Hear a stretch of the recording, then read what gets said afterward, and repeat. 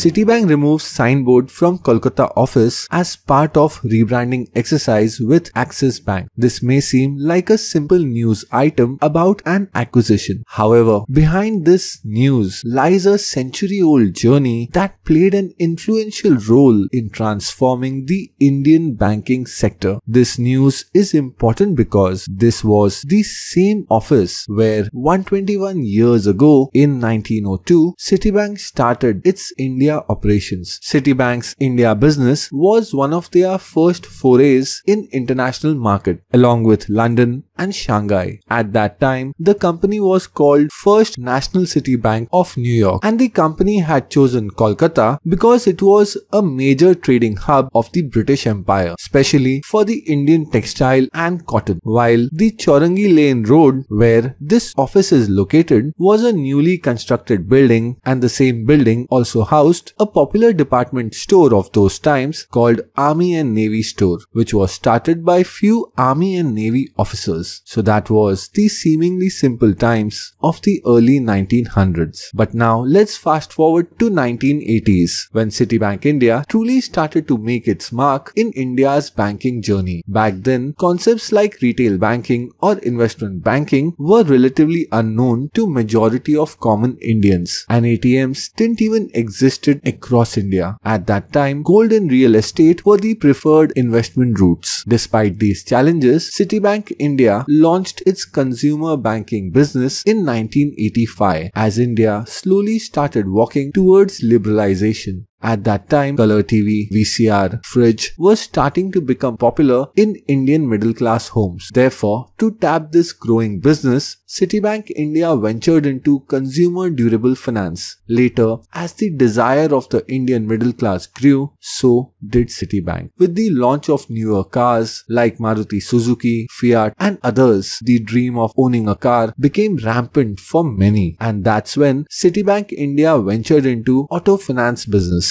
Later, the company partnered with HDFC to launch its home loan business. However, what really brought Citibank to the forefront of India's banking sector was an acquisition. In the year 1990, Citibank acquired India operations of Diners Club, the market leader in credit card business. They purchased it for an estimated value of 5 crore rupees. This acquisition led to Citibank's entry in India's then nascent credit card market. Later, Citibank's innovative approach also saw the launch of one of India's biggest private ATM networks, internet and mobile banking, and 24-hour phone banking with a memorable tagline, Citi never sleeps. By 2020, Citibank had built a massive and thriving business in India with over 25 lakh retail customers, over 10 lakh bank accounts, over 20 lakh credit card account holders, and it also employed around 20,000 people and also held a considerable 5% market share of the total retail credit card spends in India. So, if things were going fine, what happened? Why did Citibank decide to exit India? Well, honestly speaking, Citibank is not the first foreign bank to close shop in India. Barclays, Deutsche Bank, RBS, and others have either shut or sold parts of their portfolio in India.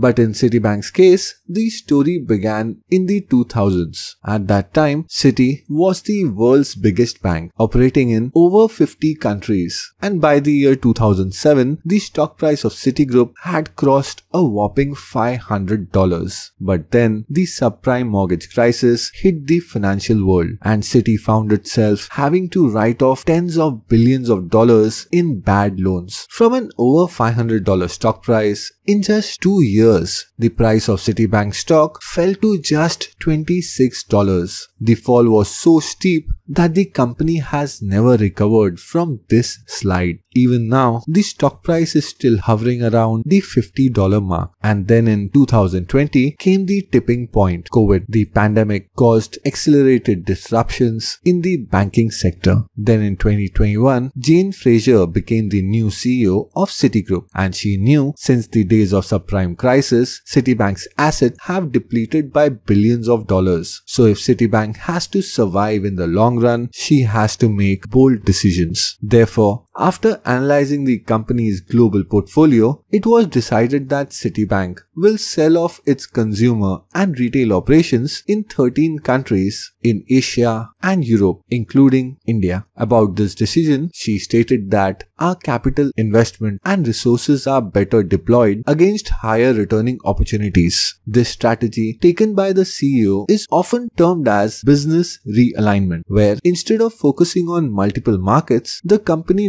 decides to realign its resources and focus on few key markets where the company has a strong market position as well as good margins. Then in 2022, it was announced that Citi India's consumer business would be acquired by Axis Bank for around 12,325 crores. And now in 2023, the remaining formalities of the acquisition are almost over. But at the end of Citibank's 121 year old India journey, it is important to note that the bank has played a significant role in the Indian banking industry and its exit from the India's retail banking space certainly marks the end of an era.